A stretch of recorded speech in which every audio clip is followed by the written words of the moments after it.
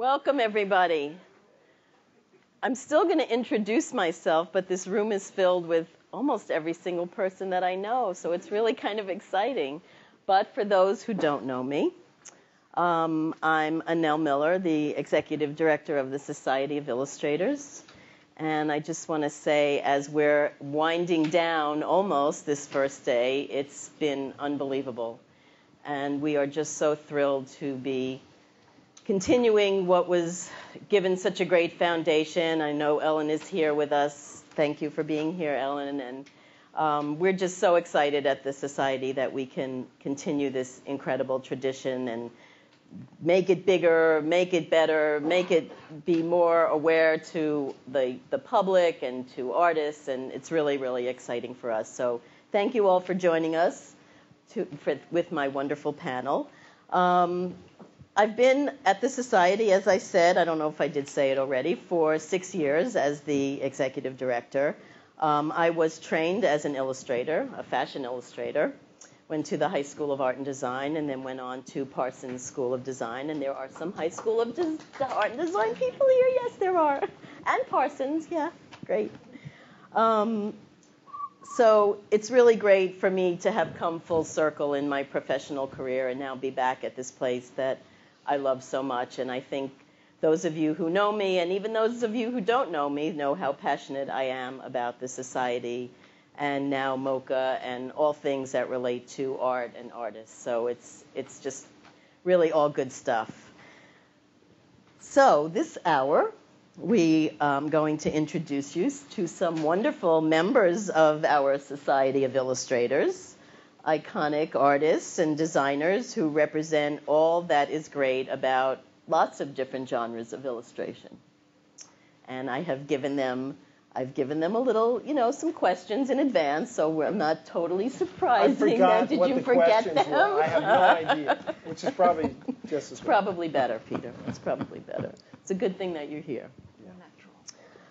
So it's really, I think that it's it's really significant. It really says something about the Society of Illustrators to have all of these unbelievable people sitting up here with me representing the society in so many different ways, and they all, all are really active and do amazing things for us um, year after year. So I'm going to just take a brief moment and introduce all of them if you don't already know them.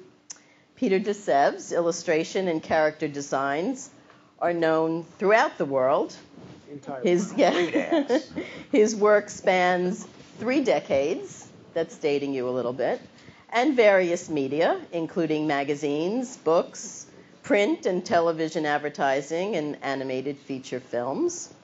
Best recognized for his many New Yorker covers and his character designs for the three blockbuster Ice Age movies. Scrat is now an international icon, as we know.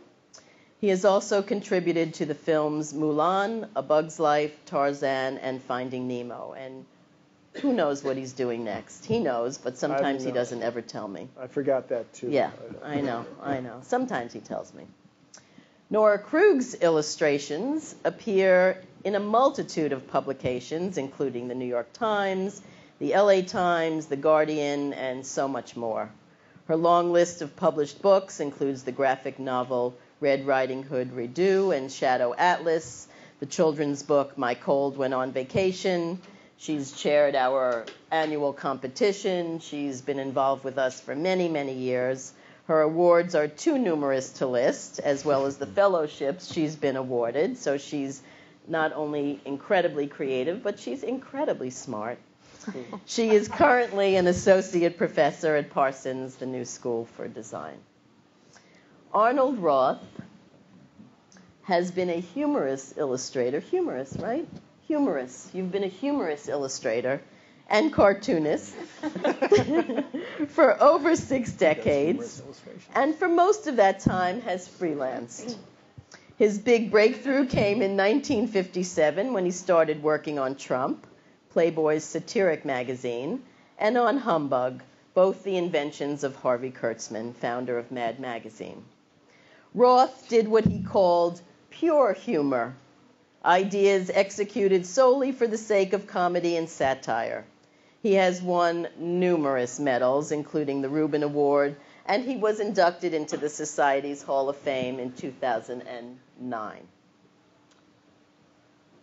J.J. Sedelmaier is an illustrator, designer, author, curator, and film director and producer. I think we need to add a few more things to that list. Bottle washer. Bottle washer, good. He and his wife Patrice run JJ Sedelmaier Productions Inc., an animation graphic design studio they established in 1990 to create and produce animated television commercials utilizing print illustrators as designers, an approach they continue to this day creating over 500 broadcast projects. So he stays a little bit busy, I think.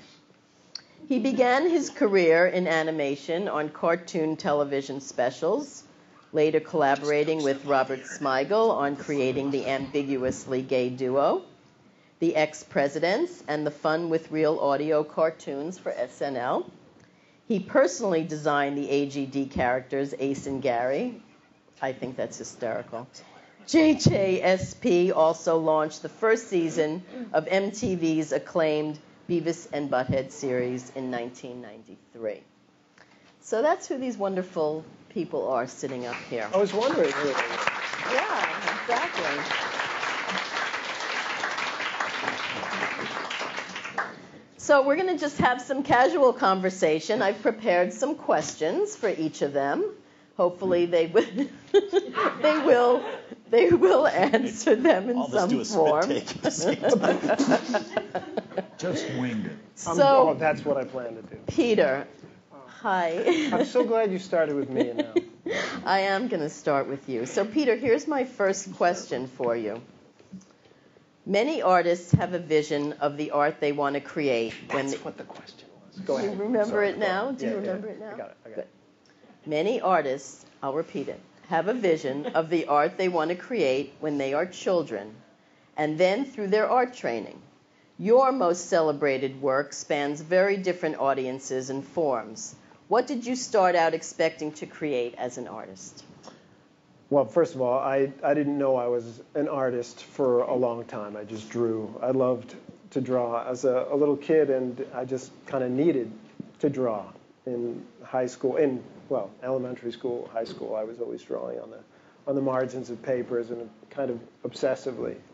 Um, but uh, I didn't find out you could actually be an illustrator until I had an art teacher in high school, who a guy named Chuck Leese, who was an illustrator and uh, kind of made me realize this is actually a profession. And that was just a regular high school, right? It wasn't a Uh, specialized. yeah, yeah. It was, I, I went to school in um, on Long Island, um, but my plan, the art I wanted to create was I wanted to draw for Spider-Man. I thought that's that's what I would do. And then I went to Parsons, and I never drew Spider-Man. no, I know. It's sad. there's Were still you- time. Were you Romita or Ditko? I was uh, Romita as long as he was inking Gil Kane. That's just me. So then at Parsons, you obviously realized that you were going to spend your. Well, you know, I there was I, I realized I think before I got to Parsons that there was nothing else I could do. There was there was there were no options, so I had to make this art thing work. And and I, I went to Parsons while Murray Tinkelman was uh, was the chairman there. Yeah, me and too. he was a you know big proponent and very protective of his illustrators and illustration in general. And um, uh, so I, it was a very uh, it was a very comfortable place, and I and I uh, I learned a lot about illustration, a, a lot of different kinds of illustration while I was there. That opened things up for me, for me quite a bit.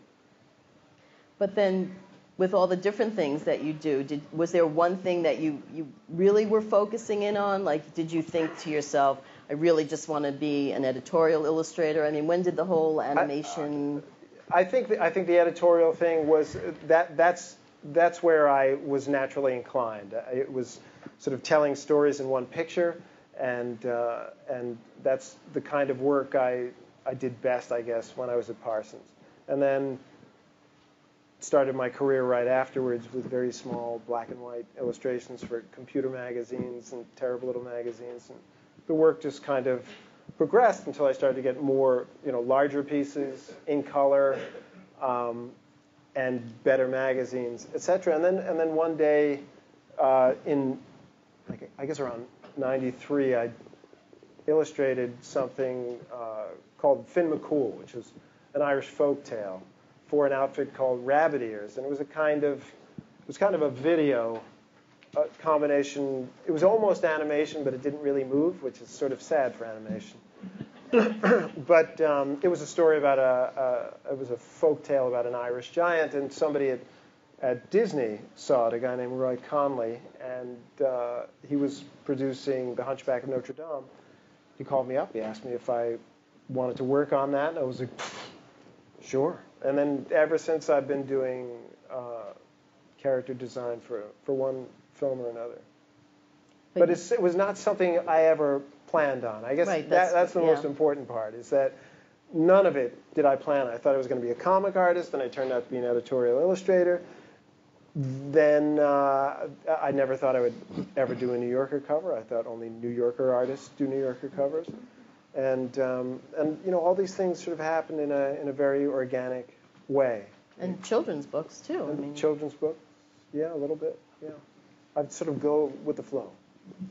So I think is that something that when you talk to students or students should really think about when they're starting their careers? Like, you know, yes, sometimes you really have a focus and you have to be flexible and you have to sort of uh, I, I think, you know, a lot of people, you know, it, editorial illustration, print illustration is, has really suffered in recent years, and some people think I was absolutely brilliant to diversify and go into animation it was not a plan at all, but if anything, maybe I was open to it. And, and I do encourage students to be open to, to opportunities they, they might not have, have planned on. You can't, you can't just aim for one niche. And, and you should train yourself in, in sort of broader skills that you can apply to different kinds of things. Mm-hmm. And right now, currently, obviously, you might not be able to talk about some of the things you're working on. No, I can now. You can't. I know. See, No, I'm that's, what, kidding. that's what happens Um, all the time when I ask them. um, I get the same answer. No, No, I, uh, I'm, uh, I'm working on, I am, I'm developing, and this is something I never, ever thought I would do, is, is um, pitch a, I pitch a story to, to Blue Sky. Um, it's an animation studio that did Ice Age, um, that, that whole franchise. And uh, I pitched them this idea, and they, and they bought it, and so I've become a kind of the de facto director on it until they find a real director. But uh, I've been developing it. I've been in development hell for, for many years now. But I never thought I would be. And I'm also technically a, the executive producer, and so I'm shepherding the story, and I'm doing, uh, working with writers, and I'm doing character designs, and uh, none of it could I have uh, planned on. So I'm doing two of those simultaneously. And, uh, and I'm, I'm working for a, a small animation studio in Paris that is doing The Little Prince Mhm. as an animated feature. And What's uh, the timing on that? that, uh, I think it's still about two years out, Really? but I'm excited about it because it's not a it's not a big, super big budget thing. It's not DreamWorks or Disney, and, and they don't have to absolutely hit all these marks that these movies need to hit in order to be colossal blockbusters. This one just plans on being good. so I'm kind of excited about that. Good. Okay. Thank you. We'll, You're welcome, Manel. we'll, we'll if talk you have more. any other We'll questions, talk, I do. I do have other questions. Should we leave? yes, because we're having such a nice time. Nora. Skip Nora, you've worked as an artist on two continents. Can you compare that experience, and also can you talk to us a little about what you think is there an equivalent of MoCCA Fest in your European experience, and talk a little to us about that? Um, I mean, now I mainly work in America, but I, uh, I'm German and I've worked uh, in different countries in Europe as well. Um, and I've certainly traveled there, so I think I can talk out of that perspective. Do you mean comics specifically or illustration? I think I think both. I think you cross over to both, so I think that it's appropriate to talk about both. Um, I mean, I think my sense is that America definitely is the most commercial market, the biggest market for illustration and animation and mainstream comics. And um, I think after that it would be uh, England that has a very strong children's book, you know, activity going on there. Um, but then there's Belgium and France, which are very strong for comics. Um, and so I think it really depends on the field. And but I think the main uh, difference is probably that um, you know, and this relates to what Peter was just saying about uh, Disney studios compared to a small animation studio in France or also in in America. Um, the size is just smaller because the audience is smaller. Mm-hmm. I mean, in children's books too, if you publish a book in Polish, you have a smaller readership. So you, you uh, publish fewer copies, then you sell fewer co- copies, and therefore you don't make as much uh, money, so it's not as commercial a market. Um, but that also means that there's more freedom to really do what you what you want to do. And in children's books, I'd say you see that in particular in Italy and France. Um, also in Japan, I would say, where they just um, talk. They're not as afraid uh, of talking about serious subjects. Mm. Um, they're not as afraid of telling stories. They don't have a classic beginning, middle, and end part. Mm. Uh, they sometimes end abruptly. Um, and so I think that's the main difference, although, of course, you can find that here as well in America if you work with certain kinds of publishers. Um, and then in terms of comic festivals that compared to MoCCA, I think there are quite a few in Europe that are interesting. The ones, um, I mean, uh, there's Angoulême, which I'm sure a lot of you have heard of. That's probably the biggest and in Europe most commercial comics festival in France. Um, and, uh, and then there's also a small, interesting one in uh, Lucerne in Switzerland mm. called um, Fumetto. Mm. And um, I've been there a few times. They also have American guests. They have a competition every year where you can submit a story, and the winner is flown over and um, put up and gives a talk. And uh, it's just a very nice scale because the whole town is involved oh, and all the stores are involved and they offer artists to exhibit in, the, in their storefronts all across town. So oh, it's really a, a, town event. When does that take place? I think in April as well. Hmm. And um, yeah, again, so I think the scale is a little bit smaller and there isn't as big an interest in the extremely commercial comic stuff, I think. So do you think um, with our involvement now with, with MoCCA, we have a real opportunity to do outreach to some of these international, whether it's comic organizations or individual comic. I mean, I know we do have some international representation here, mm-hmm. the Danish comic artists and Swedish, and we're we're doing a lot now with the French embassy, um, with some of the French artists. You think we have? Is that a place where you see we can have opportunity to? Yeah, I'm sure. I'm sure think. I don't know if that's been done already. I don't know how much these festivals have connected amongst hmm. each other, but it would be a good thing to do, I think. Yeah. yeah, I think it would be really interesting, absolutely. And maybe even have us have more representation mm-hmm. in some way over there. Mm-hmm. Okay, thanks, Laura. Arnold. Yes, dear. yes, dear. I love that. Caroline, is that okay? Yes, dear. You probably hear that all the time. She doesn't look very happy. Arnold. Yes. Art affects society. We know that. Do Did you, you say infects? it does. It does that too. It totally oh, okay. does that too. Yes. Do you feel that your political and social commentary, whether it was for the National Lampoon or the Progressive, helped make an impact or even change the society we live in? And the answer, of course, you'll give us, we'll talk a little bit about that, but how can artists use their conscience to improve the world? Do you think they can? Do you think making a statement in, in this way can? Well, uh, I'll tell you something about society and the world. Okay. A, cartoonists would, if they could, would make a terrible mistake to improve it. What have we been drawing about all these years? Good point. Would you want to live in a perfect society? No. No, thank you. No, no. No one ever has. We know that. But uh, just as an idea, I think that's a. Uh, anyway, I've seen society. I've drawn them. So, but do you think They can't be improved. Society can't be improved. No, I. I No, but do you think that when what you've drawn has, you know, made an impact on people? Do you think people have looked at your work and maybe thought, Well, it's not really done with that purpose. It's Okay, done to okay. express what I want to draw and what I think about that particular subject. And uh, but uh, I'm al- also a member of the editorial cartoonists, and I'm always, and it's not just the younger uh, members. Uh, I always was surprised when they thought it was within their power to change society through political cartooning. And um, I don't know that it's ever worked. I, uh, we know about Thomas Nast and the effect. Uh, uh, when you're doing drawings three, four, seven times a week, and you keep banging on the same drum, I think you do, you can have an effect. But I don't think an individual pictures sometimes, which would be what I have always printed.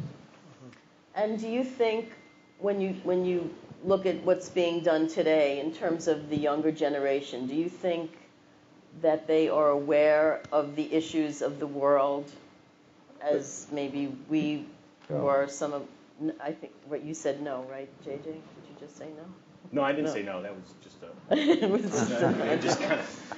I mean, I, I, you know, I, I, I, I always question that, you know, and I, I find it a little concerning that I think that there's not as much awareness on the part of um, maybe up and coming illustrators, cartoonists of what's happening in society, and I, I just don't know if any of you have a comment. Yeah, on I that. think such work is being done, and, uh, and all. I don't know how much effect it has, but uh, You've got now you've got things like the Daily Show and Colbert that kind of pick up where some of the cartooning used to go, and it's on a you know daily basis, and uh, and and also you've got uh, uh, newspapers and and and and areas on the web and so forth that seem to cater to such specific groups and preaching to the choir Well- that there isn't as much. Mm-hmm. Exa- exactly. I, I- I mean, the, the few political drawings I've done have been just that,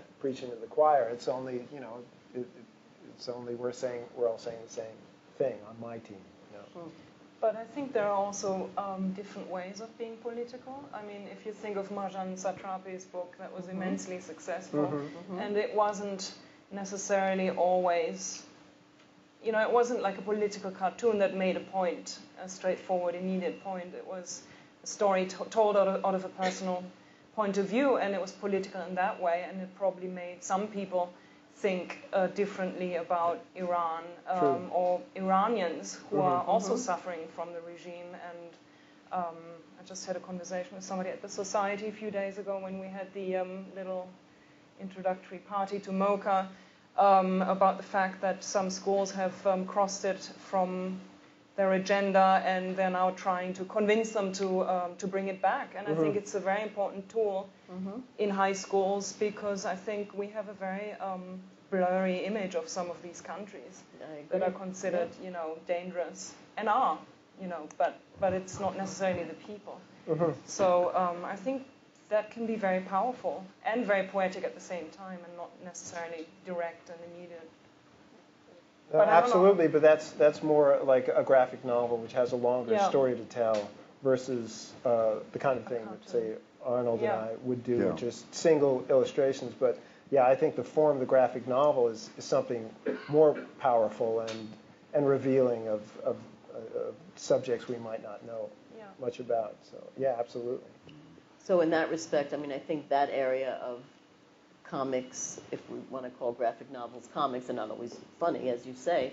I think that that area is really growing, and I think that the young people are maybe telling their story in in, in longer ways and in ways that Uh, no question, and and I think uh, places like MoCCA represent they it sort of highlights the fact that there are all these young voices that can now publish their own work. They might not get the distribution they want, but there's no there's no sort of editorial constraints, and I think it's a it, it's an extremely potentially rich time for for artists to be to be publishing and telling whatever stories they want.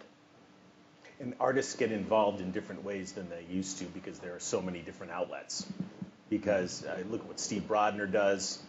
You know, he's, he's he gets involved in film. He gets involved in you know animation. He um, uh, even the no, there are just all sorts of ways of being able to get your story out there now that there there weren't. Graphic novels were comic books. They weren't popular.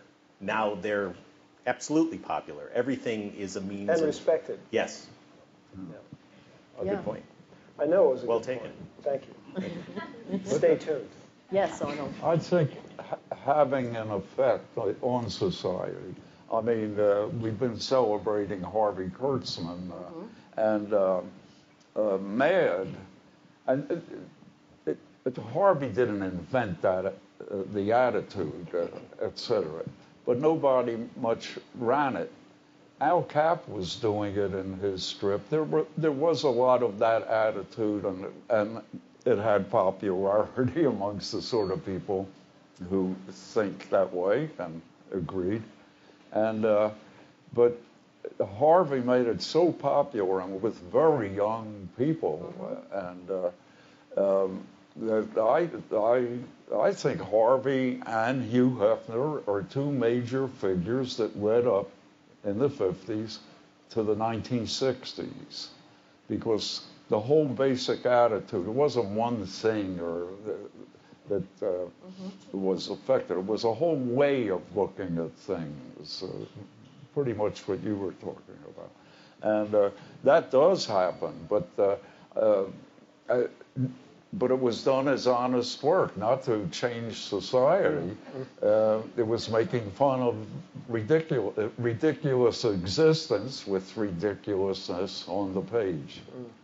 Yeah, it's been interesting. Um, for those of you who don't know, the uh, our Harvey Kurtzman show is up right now at the Society, and it's um, it's amazing. And for those of you who haven't seen it, I, Oh, it's good. yes, it's really great. But it's been fascinating um, the the range of age groups that have come to see this work, and we, we talked a lot about that when when the show was being curated. You know, who's gonna who who will be the demographic, who will come, and it's been unbelievable to see the younger younger people. I mean, a lot, a lot of younger people, but it's it's just spanned decades. I mean, it's incredible and it's very exciting. You know, Do you find that it's a mad centric thing?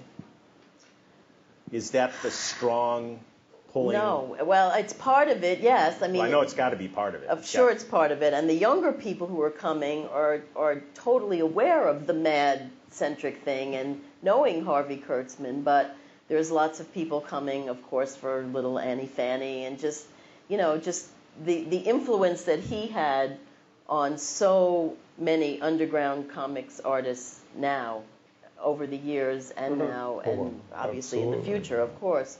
It's it's extraordinary to see the. I'm the glad diverse- Arnie mentioned Hefner though, because a lot of people don't realize how much Hefner loved loved. oh, it is loved. People don't, and maybe know, you cartoons. could. Yeah, maybe you could just talk for two seconds about that because it is very, very interesting, and I was not aware of it as much until you know Monty and I have been talking so Yeah. much about it. So just t- maybe talk for two seconds about what he.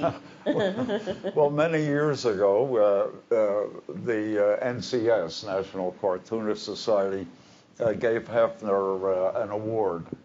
And uh, he, he got up to the microphone and he said, um, I don't know if many of you know this, but I really started out, I wanted to become a cartoonist. Of course, I'm not sorry the way things have turned out. and uh, it's true. And uh, uh, I, I worked with him, and Harvey did too. And Annie Fanny was a fantastic adventure, and he could be very picky about it. Uh, Hefner, but he watched everything. He loved, really loved to see cartoon work, and. Uh, and he had a terrific uh, uh, cartoon editor, the late, unfortunately, Michelle Urry. She was very intelligent. She knew everything, and she knew a lot about cartooning and cartoonists. So she could call our number when we were trying to pull things.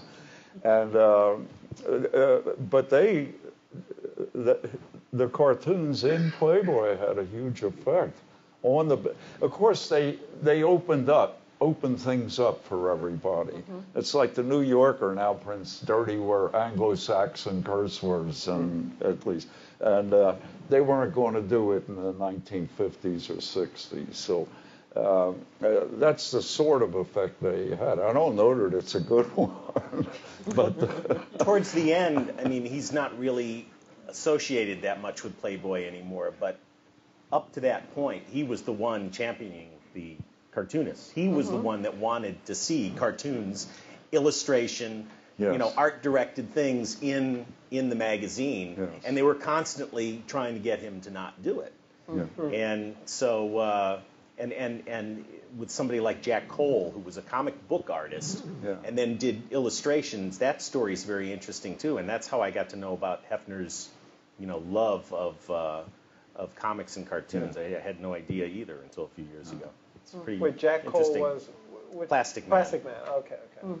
I, I I remember, one- this was a long time ago, uh, visiting, uh, Hefner had this mansion which he was always publicizing in the magazine. And, and I, I, I went there a few times. And uh, then he moved to LA, and I went there uh, uh, sometimes. And it was on one of those visits, he pulled me aside and said, I now have a complete collection of the spirit. And it, it was like, you know, this guy had everything, but and he was so great. happy. Wow. Wow, that That's is great. That's a great story. Thank you. So, JJ. Yeah, I know. We know that art touches all lives, whether people actually realize, whether it's subconscious or unconscious or whatever. Some of your work has touched literally The unconscious. unconscious, unconsciously touched their lives. They Has- killed seven. Some of your work literally has touched tens of millions of lives without identifiable credit to you. When you look back on your journey as an artist, do you feel satisfied with projects like your work helping to create the Cartoon Network, or is it the more con- concrete, frameable artwork that feels more rewarding to you? Can you just talk a little bit about all of those aspects of what you've done and how you feel about that? Well, um, first of all, what's interesting about the question is that um, I've been fortunate in that I have gotten credit. Good. So that title card that started on Saturday Night Live and was originally um, a payback for a storyboard that they didn't want to pay for um, kind of put us on the map.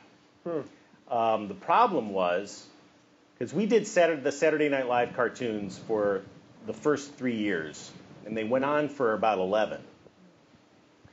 And as terrific as it was to get all the recognition for the cartoons, which were fantastic, and it was great to be a part of them, um, the we got we got branded.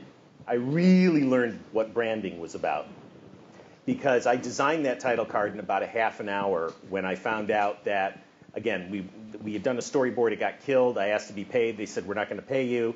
I said okay, well then I want my own title card, and they they were like you know whatever. And I was like, so got this title card up there, and every Saturday when we had a cartoon, you know, this thing was indelibly kind of etched into people's heads. And then we, uh, so much of our work was commercial work in, in advertising, where we didn't have a title card, and um, um, as, as, as rich as the Saturday Night Live cartoons were and funny and entertaining, they were of a specific kind of style, which was kind of crummy animation, and uh, but very funny.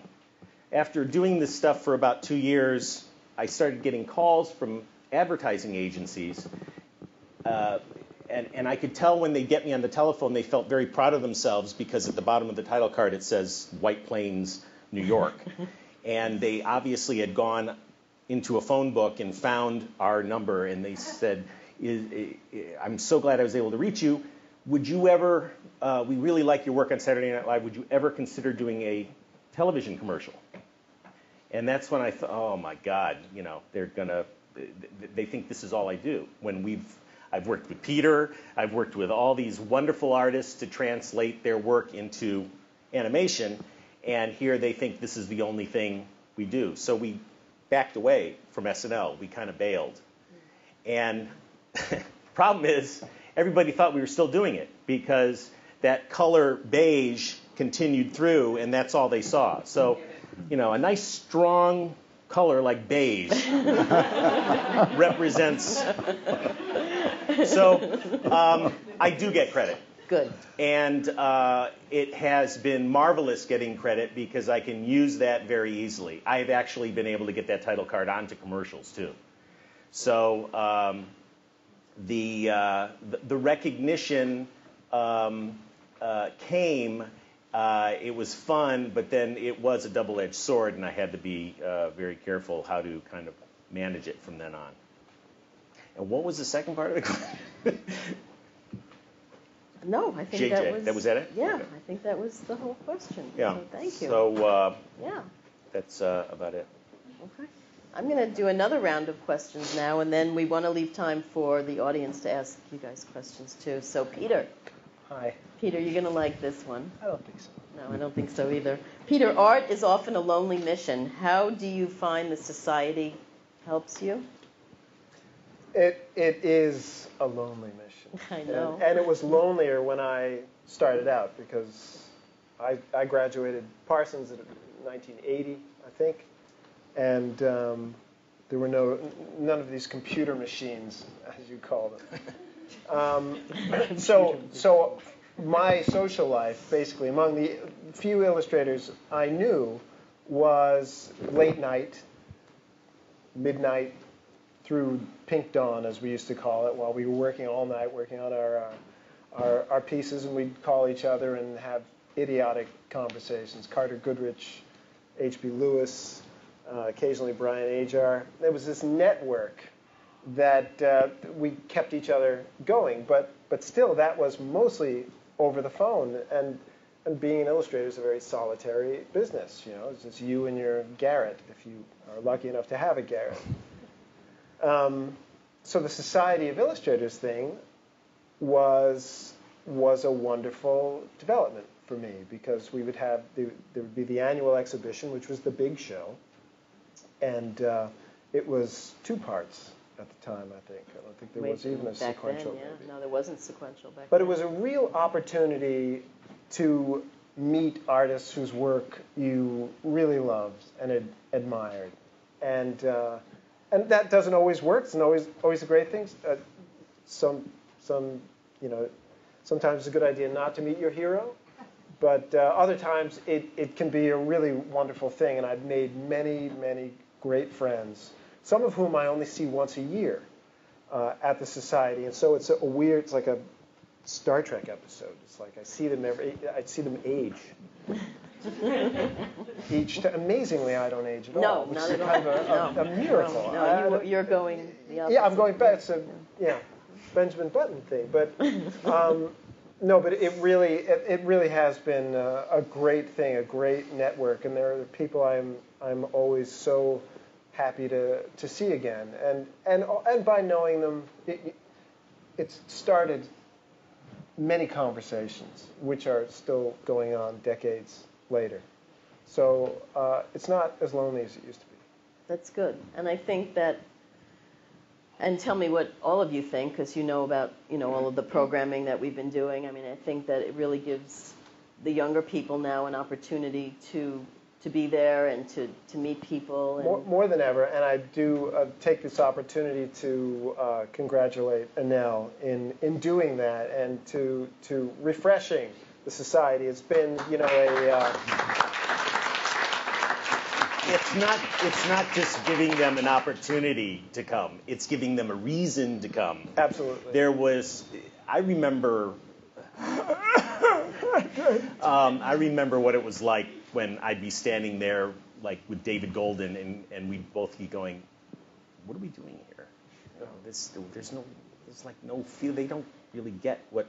That's not the case anymore. You know, it's a great place to go, and you really want to be a part of everything that's going on there. So, it's a great thing. And it's it's it's you, and it's you as well, sir.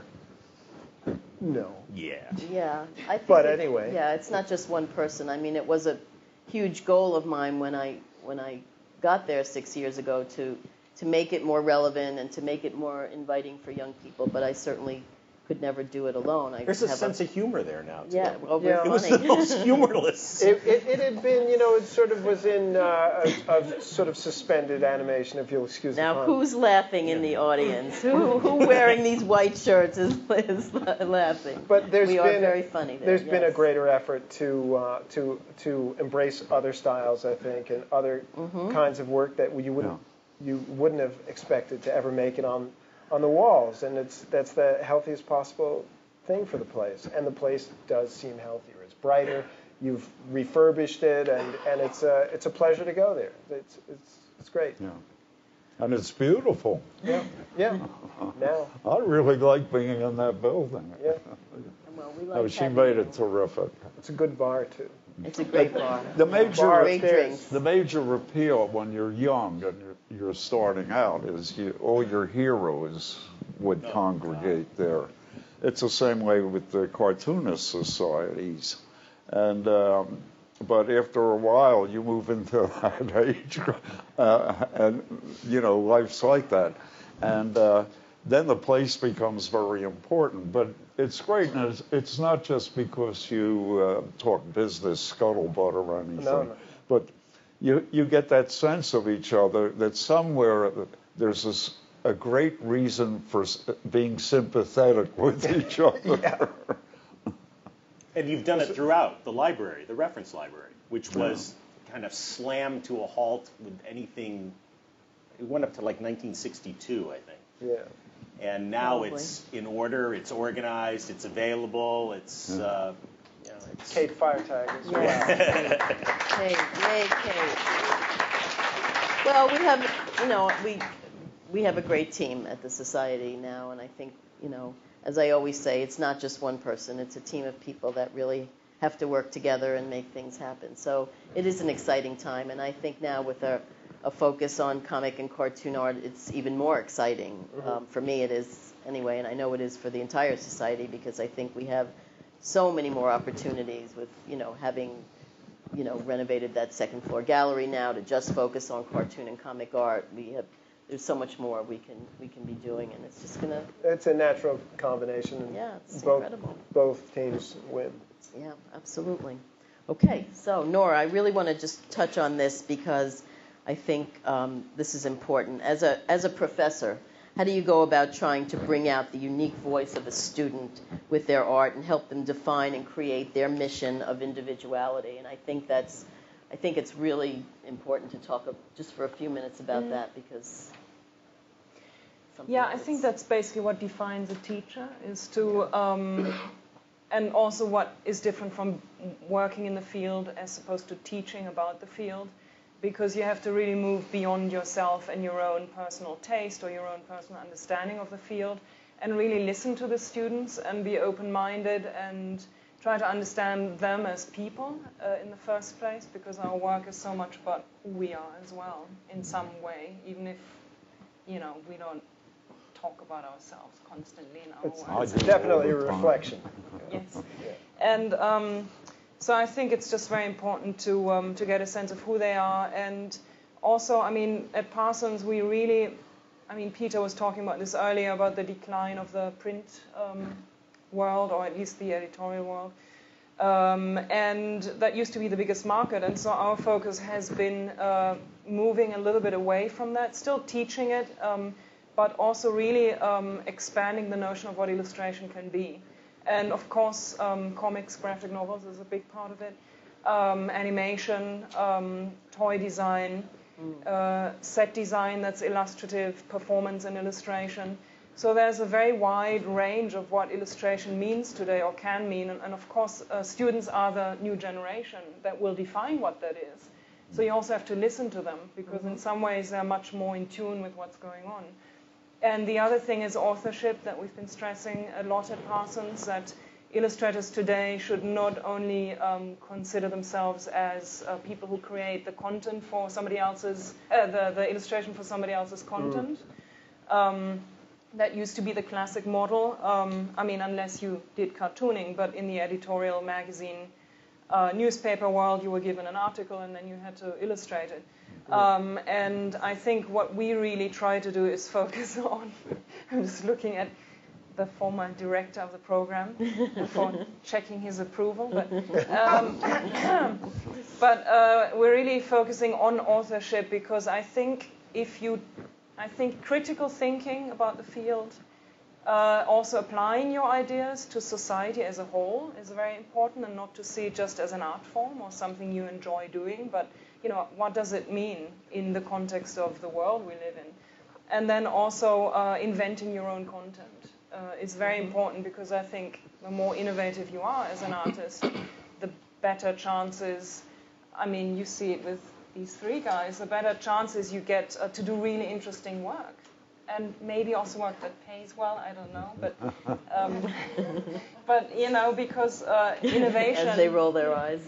because that's what's really the most valuable thing is the thinking and um, the innovative approach, and not just can you draw.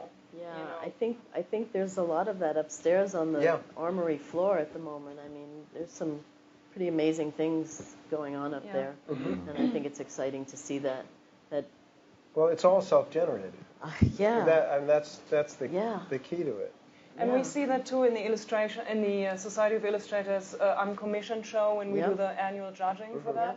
yeah. Um, that's often the most interesting and compelling work, I think, because it's it's also self-generated and it's um, it's very personal and it's very just interesting.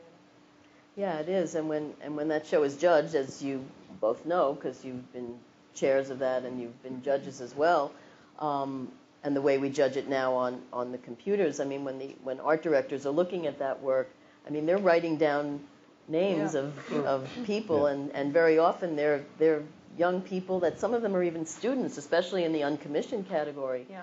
and they're actually getting getting some work, which Yeah. is pretty exciting. Yeah. So yeah.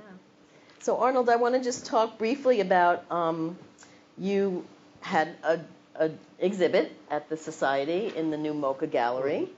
Um, Thank just- you. Yes, you're very welcome, and we were thrilled to have that artwork there. And Beautiful. I think one of the most amazing things for me at that at that exhibit when I would walk down onto the second floor, you would hear people laughing. I mean, there was just like laughter coming from the second floor because people would just like walk and and read and really just take in your work and they would just by themselves. They weren't you know and, and it was just it was really a great thing. So I thank you for that because I think it was you. really wonderful and um, I That's know the purpose of the work. I know that. Realize. I know that, and it's it, it it happens, and you're successful with it, and we were thrilled to have that, and um, we're so thrilled to have that gallery there now, and I know you and Caroline both, and Caroline is here, are doing incredible outreach right now with the National Cartoonist Society and bringing them back to oh. our society, and I, I thank you for that, and Yeah. we've had so if you could just talk I for two wish you seconds. luck. It would be great. yeah. Well, I mean, you've had meetings there now, and the, the cartoonists are Yeah, coming sure. back and seeing that, again, it's just a really welcoming place. So I think that we have so much opportunity with that now, and there's so much great stuff. So thank you. My Thank you. So I feel like you're spearheading that, helping to spearhead that for us, and it's a great thing. Well, thanks for the opportunity, mostly for my wife to do a lot of hard work. She did a lot of hard work, yes, and she She do- deserves to be She does thanked. what, when Anelle uh, said to me, we were at the society, she said, uh, would, would you agree to have an exhibition here? And Caroline was standing a couple feet away. I pointed at her and I said, yes, if she agrees to do all the work. And she did. And she did. Yes, she did. So thank you, Caroline. You.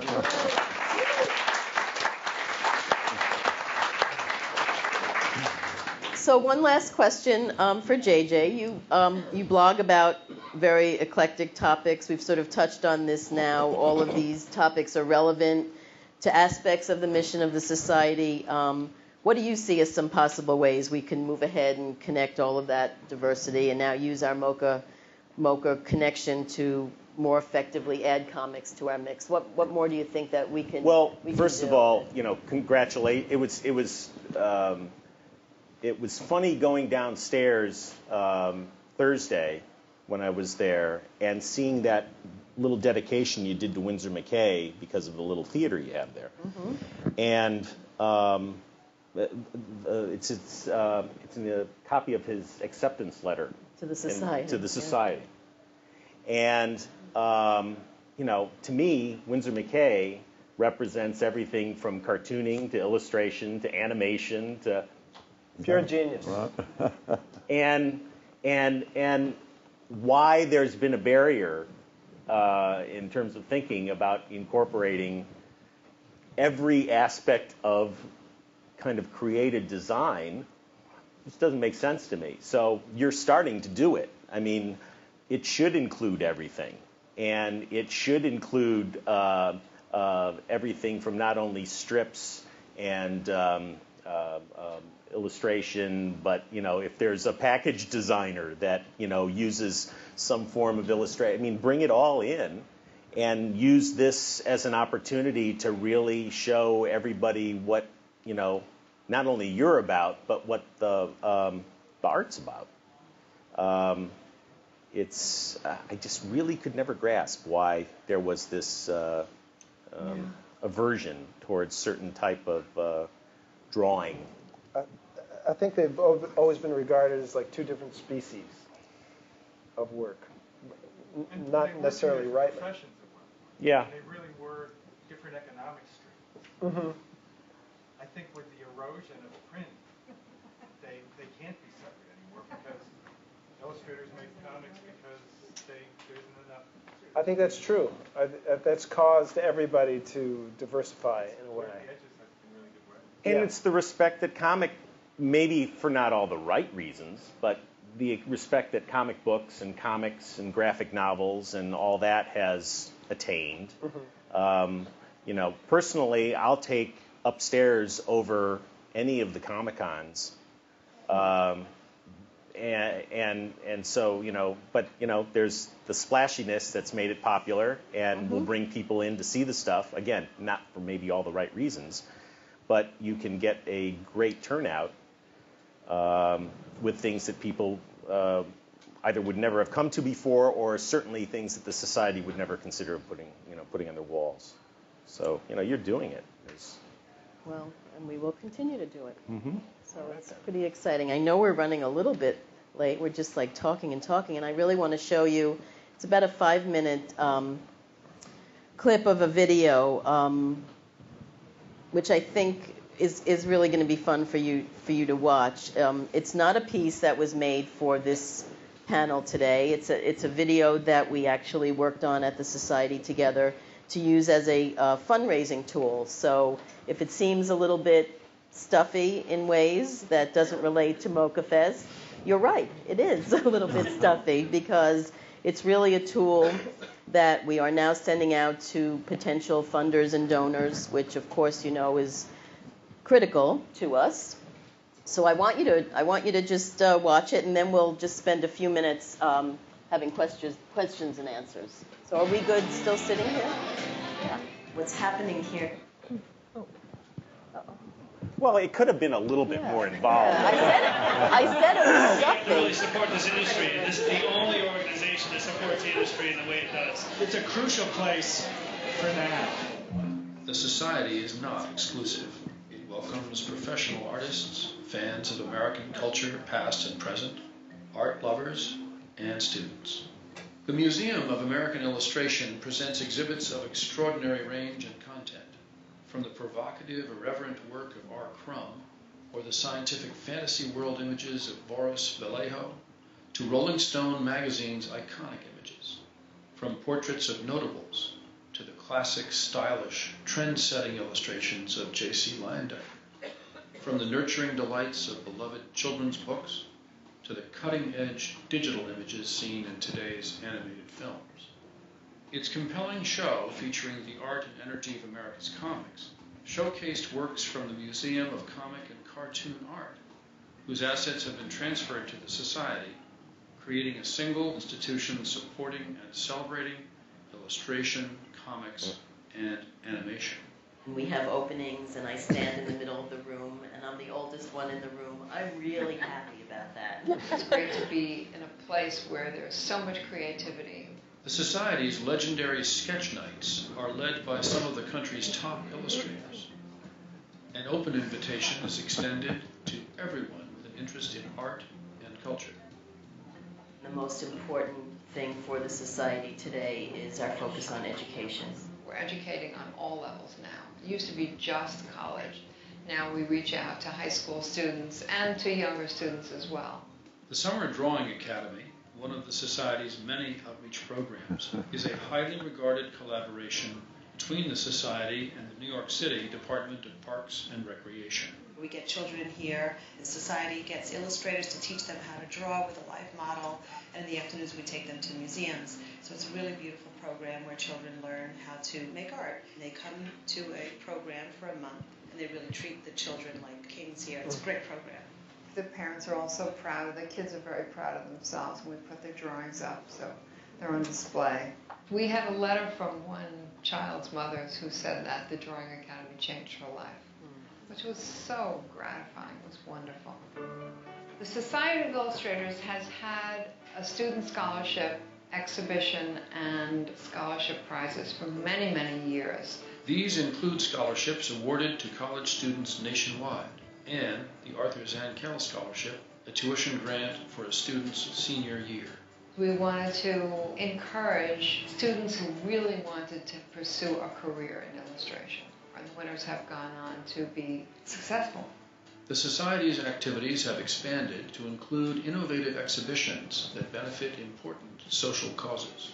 When we did our line of fashion exhibit, which focused on fashion illustration through the decades, we collaborated with the Gay Men's Health Crisis organization and we gave a percentage of proceeds back to them to help them with their art therapy programs. The Society also initiates joint projects in collaboration with other nonprofit organizations. We were so pleased to work with the Society, partnering with Anelle Miller and all the staff and artists here. Illustration is not a static form. While artists still draw with a pencil and paint with a brush, digital technology has also become an indispensable part of their trade. What this show attempts to demonstrate is that there is an illustration process behind animated films. Computer has changed the way things are done in an animated studio in the most drastic way.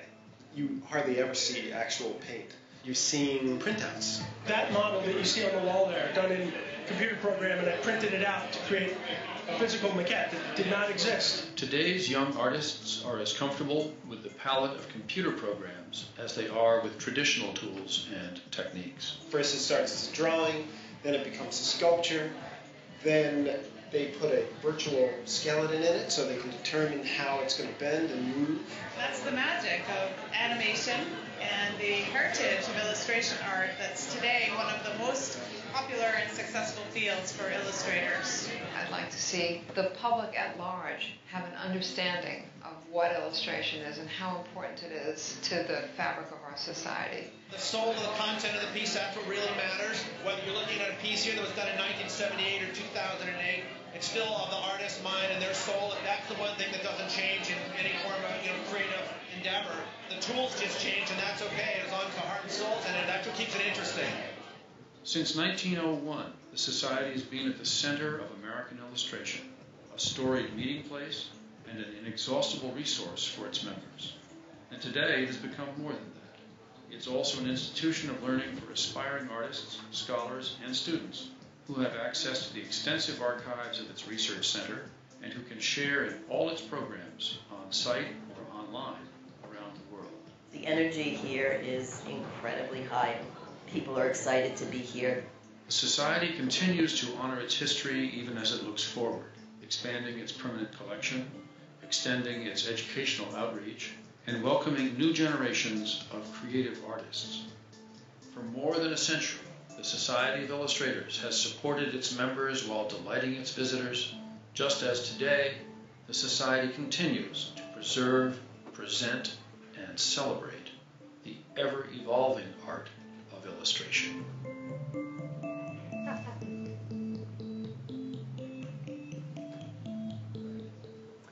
Good stuff in that. It's fun, huh?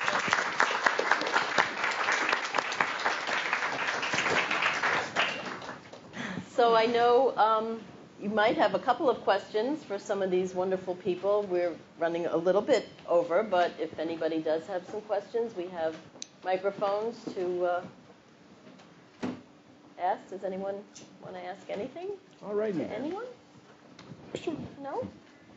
Could the panelists speak to any experiences in regards to censorship in your illustration, in your professional work, whether it be financial, uh, fiduciary, you know, any level of censorship?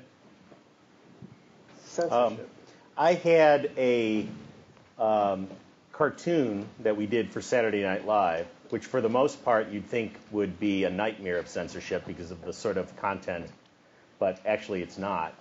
Uh, Saturday Night Live has an umbrella kind of of indemnification because of the stuff that they uh, do, but they self-censored themselves.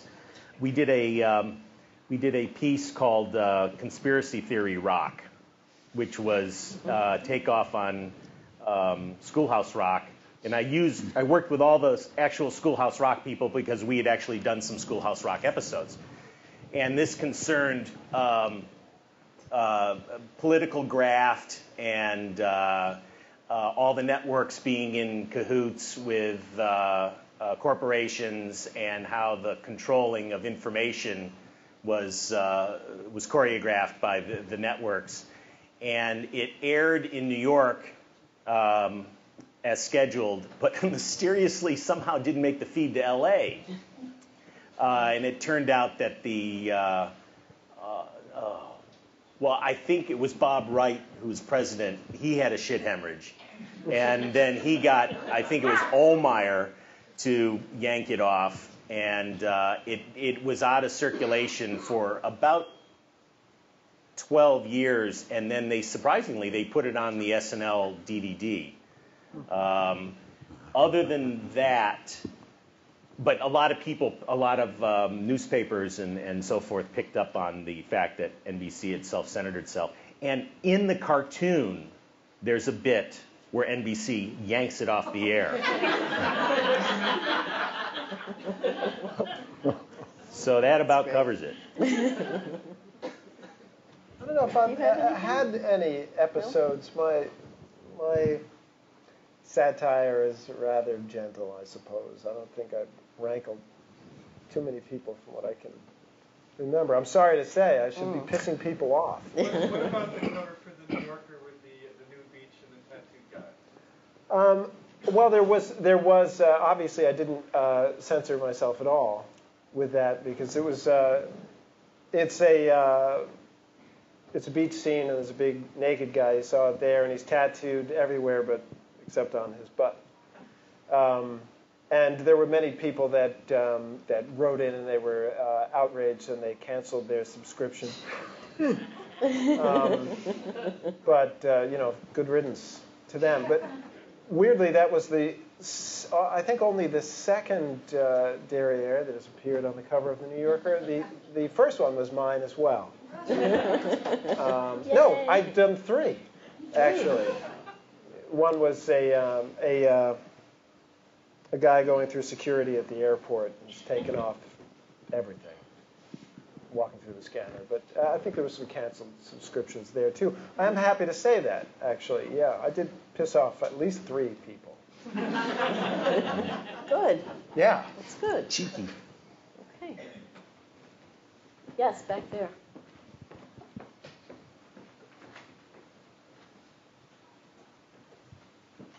Hi. Um, so after that video, um, there's something I've been thinking about as well. If you can speak to about um, the mentors in your life and how you went about seeking those mentorships and the valuable part of that relationship.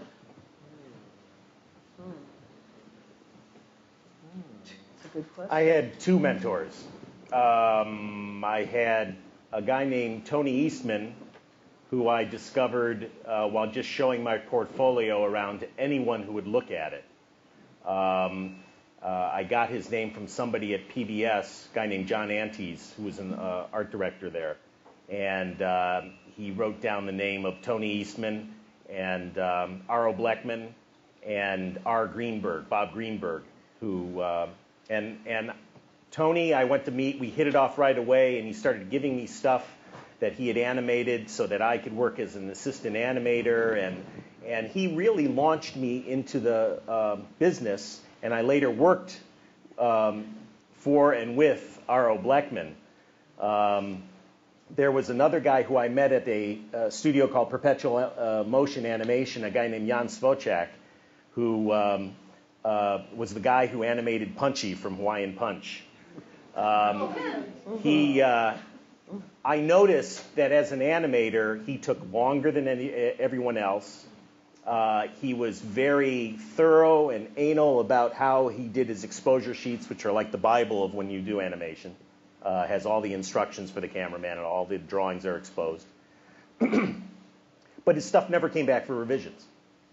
The other animators cranked the stuff out, but the stuff was constantly getting revised and fixed, and so. But so I got to actually be his assistant exclusively for about a year and a half, which was unheard of, and I was a real pain in the ass about saying I really wanted to work with Jan. I really wanted to work with Jan. It, it, it, and it, but it really paid off because the consistency I got out of the process was uh, fantastic. Uh, but I had to kind of go against what the norm was. You were supposed to just pick up a scene and work on it. Did you have any?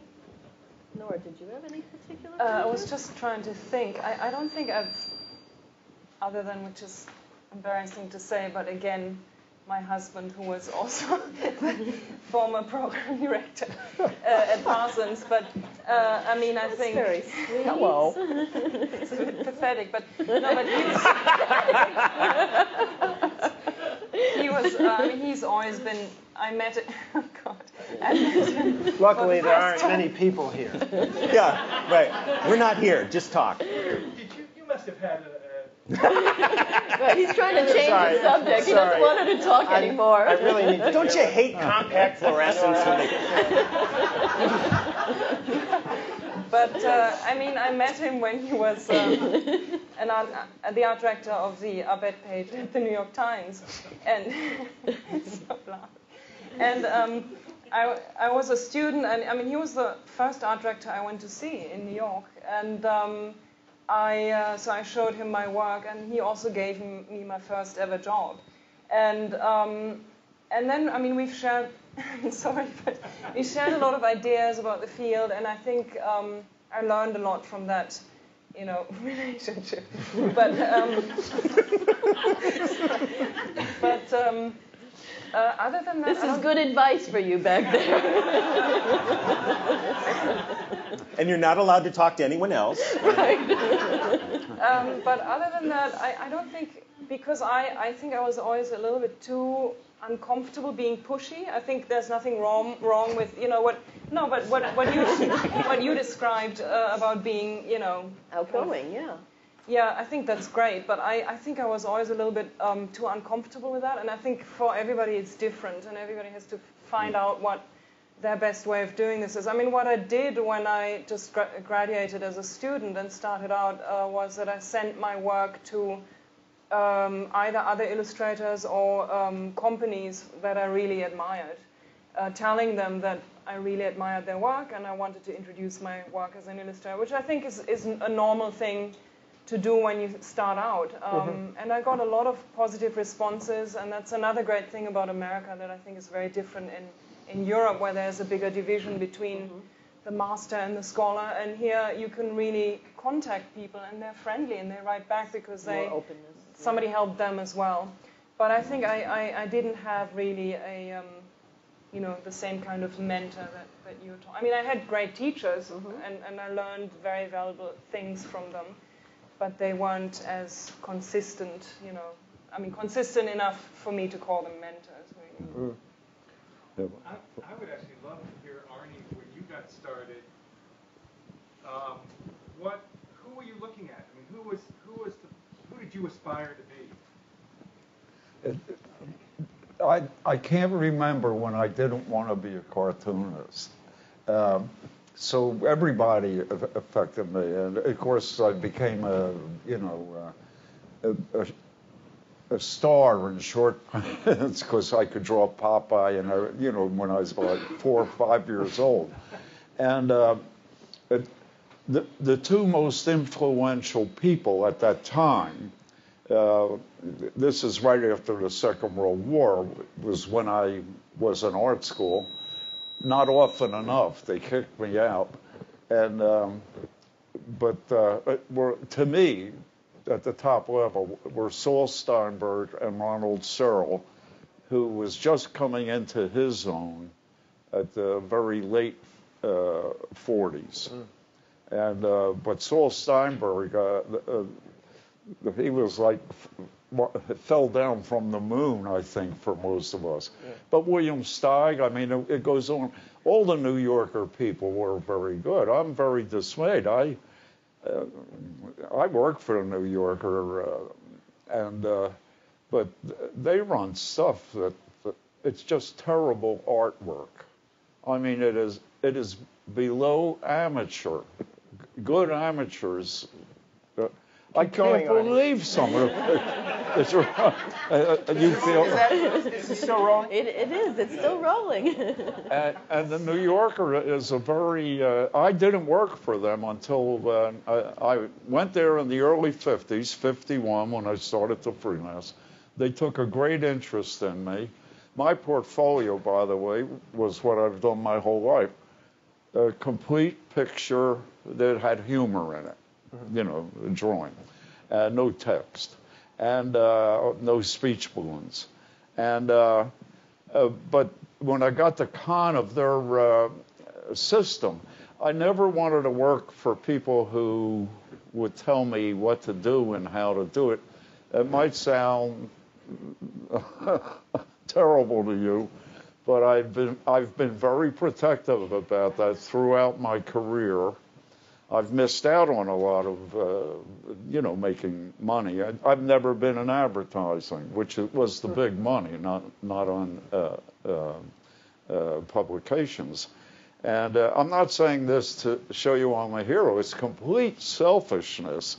And uh, but I knew that I was becoming more and more competent all the time graphically, and uh, and also staging. You know, uh, composition's always been a passion of mine, et cetera, et cetera. And uh, I, I didn't, and a lot of editors had valid things to say that were, and I said, well, I won't do that in the next one. I hate to do anything over. I don't like to do anything twice. And uh, it, it, went on like that and that. And I've had a wonderful career, as I said before. I think if I had become a painter, I'd be an expressionist because I think my drawings are expressive.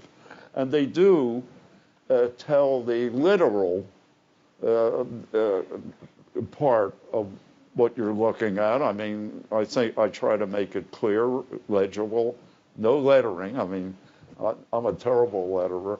Uh, and, uh, and that's the way I've worked, but you don't articulate that in your mind, but it's in your spirit and your heart. And you know, to me, where you want to go. Um, And what you said about you, you, there are places. It's like finding heaven while you're still alive. And you get very sympathetic, very good art directors, editors. Uh, that's what they want to uh, buy. I mean, but at a, a certain level, I mean, I can see they call up Duke Ellington, the bus pulls up, the band comes out, they set up, and they, and then the the person who called them up says, "Now I want you to play like this." Yeah. and you, I want you. Well, Duke Ellington didn't take gigs like that, and neither did I. Well, I think that that's a, a really a crucial lesson to to anybody starting out. That's how you remained who you are. Yes. You, you kept your own singular voice. It cuts out a lot of territory, but it's territory you don't want to explore, is the way I've always I, felt about it. I've, uh, you know, at a certain point, I was able to, to, uh, to be able to say to the art director, you know what, I, I hear your idea, but it's not an idea I would use. It's not a joke I would tell, Yeah. or the way I would tell a joke, Yeah, and right. it's not me. And so, you know, I understand if you want to go somewhere else, but what's the point in Yeah. having me do your idea? And I think that's why it's so important to be selective also when you start out to, uh, to uh, what you said about finding the right art director can be really a wonderful experience because I think you have to really think about what your work is about and um, to try to find publications or publishers or editors uh, who you think understand what you do. And then it can be wonderful because Yeah. then they hire you exactly for what you want to do. Yeah. And everybody else, uh, everybody has also a different threshold for flexibility. I mean, I've the children's book I've illustrated. I certainly made some compromises that I was happy with. Mm-hmm. Um, well, that's good. But uh, but I also didn't feel like somebody tried to twist my arm. So I think it's always a matter of, of how far you want to go. Yeah, Uh, you do have to be. You can't reject everything. You have to listen. Sometimes the idea is a good one. too. Sometimes they're seeing it in a way you're not seeing it. Yeah. And I've I've had uh, a couple of things corrected, and it's like, oh yeah, yeah, you know what? That actually does make better sense too. Right. As a matter of fact, there was a woman, this would be in the very early 80s at Esquire. Uh, she had a, one of the best names ever in art April Silver. It, it sounds like a soap that you don't buy. But a- but, uh, steal. wow, I bet a lot of people buy that soap. You know, but uh, and uh, uh, when sh uh, she was an, the assistant to the art director, and uh, I was launching on what went on to a huge thing through the whole 80s. But uh, I said to her, uh, "Look, I don't know you, and uh, I don't know if you know my work, but I told her my ground rules, and she said." Oh, that's great. I said, I do, I, my idea, and I do it the way it, I th- think it would be best realized. And uh, she said, Oh, thank God. She said, All the artists we've been interviewing say, Well, what should I draw? That's a bad thing so I to said, ask. Yeah, well, good luck to them. They, they can take all those other jobs. You know. Well, clearly, I think you can see that we can sit here for hours having this conversation. I know we've run over, and I appreciate everybody staying. Um, it's been